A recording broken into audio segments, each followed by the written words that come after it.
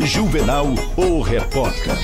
Oferecimento RA Viagens, com linhas para Goiânia, Imperatriz, Marabá e Parauapebas. Ônibus semileito e leito com Wi-Fi e água mineral. Alugamos ônibus para turismo. Clínica Physiolife, o melhor da tecnologia médica e exames laboratoriais com preços acessíveis em Timon. Physiolife, mais saúde para você. E Big Leste, a limpadora de fossas do professor Ladislau. Telefones 3212-6935 e 8845-7909. Big Leste, agora também em Autos. Cresce assustadoramente a onda de assaltos na capital do Piauí.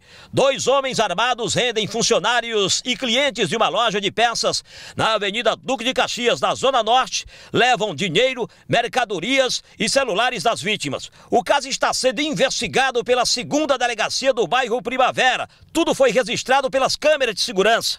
Os dois elementos ainda não foram identificados. A outra ação criminosa com os mesmos modos operantes aconteceu em uma uma loja de celulares em um shopping na Avenida Marechal Castelo Branco.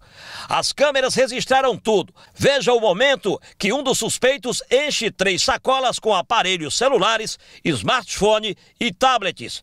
O prejuízo pode chegar a 400 mil entre dinheiro e aparelhos. As duas ações criminosas foram praticadas na área da segunda delegacia do bairro Primavera, da zona norte da capital.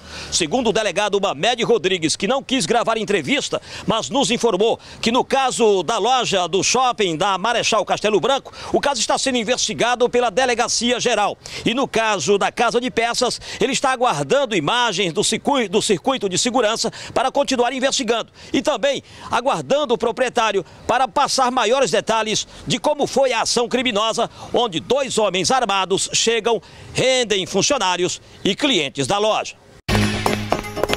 Juvenal, o repórter.